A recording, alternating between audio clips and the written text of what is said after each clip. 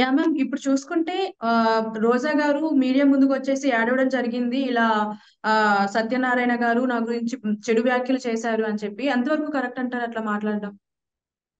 అసలు యాక్చువల్లీ అండి బండారు సత్యనారాయణ గారు ఎవరైతే ఉన్నారో ఆయన మాజీ మినిస్టరు, గతంలో ఎమ్మెల్యే. వీటన్నిటికంటే మించి ఆవిడ మీద చేసినవి నిందలు, ఆరోపణలో ఏమో కాదు మనకు తెలీదు కానండి. అప్పుడాయన పబ్లిక్‌గా చెప్తున్నాడు. నేనప్పుడు ప్లానింగ్ కమిటీ చైర్మన్‌గా ఉన్నాను. అప్పుడు నువ్వు టీడీపీలో కూడా చేరలేదు. ఆహ్, నువ్వప్పుడు ఒక సినిమా యాక్టర్‌వి. నేనుండే ప్లానింగ్ కమిటీ చైర్మన్‌కి సంబంధించిన హోటల్‌కొచ్చి నువ్వు ఎవరిని తీసుకొనొచ్చావు? ఎవరితో ఆహ్, తప్పుగా ప్రవర్తించావు? ఇవన్నీ అడుగుతున్నారు. అంటే ఆయన కళ్ళ ముందు చూసినటువంటి దృశ్యాల్ని వెళ్ళారా? ఆఫ్‌కోర్స్, హ్మ్. ఆఫ్‌కోర్స్ అయ్యుండొచ్చేమో. ఎందుకంటే ఇన్ని రోజుల నుంచి రోజా గారి విషయాలు పూర్తిగా తెలిసింది టీడీపీకి. రోజా గారి విషయాలు పూర్తిగా తెలిసింది పవన్ కళ్యాణ్ గారి కుటుంబ సభ్యులకి. కానీ ఏ. రోజు ఎవ్వరు ఈ ఆధారాలు ఇవి, అవి అని మాట్లాడల.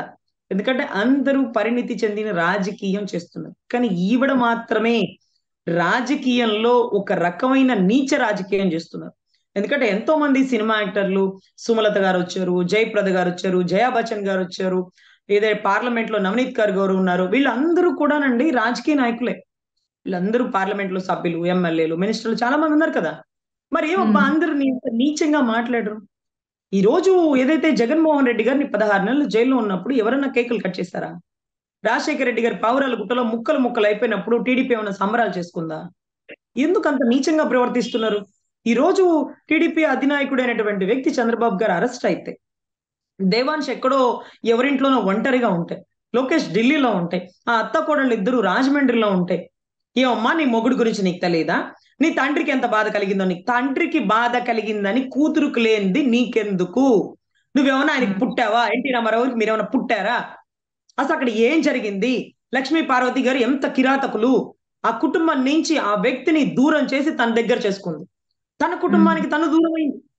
ఏదైతే వీరగంధం సుబ్బారావు గారు, వెంకట సుబ్బారావు గారిని వదిలేసి కేవలం రాజకీయ కాంక్ష కోసం, అధికారం కోసం ఎన్టీ రామారావు గారిని ట్రాప్ చేసి బుట్టలో వేసి పార్టీని కాంగ్రెస్ పార్టీకి తాకట్టు పెట్టబోయిన లక్ష్మీ పార్వతి గారిని ఏ కుటుంబ సభ్యుడు, అల్లుడు గాని, కొడుకు గాని, మనవడు గాని అందరూ దూరంగా పెట్టారు అప్పుడున్న మూమెంట్లో 'లక్ష్మీస్ ఎన్టీఆర్' అంటూ ఒక సినిమా తీశారు. మరి దాంట్లో ఆమెను పెద్ద హీరోయిన్గా చూపించారు కానీ ఆ ఒరిజినల్ క్యారెక్టర్ అనేది పిల్లోడికి కూడా తెలిసిన పరిస్థితి. సో, ఇటువంటి అప్పుడు ఒక ఆడవాళ్ళు పరిధి దాటి మాట్లాడితే దాని పర్యవసానం అనుభవిస్తారు. ఈరోజు తప్పు చేసిన వాళ్ళు తిరగదిప్పి ఒకళ్ళని విమర్శించకూడదు. మన హద్దుల్లో. మనం ఉండాల. నీ దగ్గర లోపం ఉంది. ఆ లోపాలు వాళ్ళకి తెలుసు అన్నప్పుడు ఈరోజు వాళ్ళు అరెస్ట్ అయ్యారు. నీకెందుకు అంత అత్యుత్సాహం? 151 మంది ఎమ్మెల్యేలు ఎంతమంది మహిళలున్నారో తెలుసా? మాకైతే తెలీదు.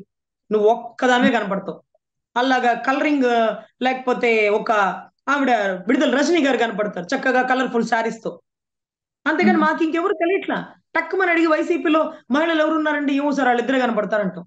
అంటే తెర హ్మ్. మీదకొచ్చి నువ్వెందుకిలా గంగిరెద్దులా డాన్సులేస్తున్నావు? ఈరోజు నేనంటే నీకు బాధ కలిగిందా?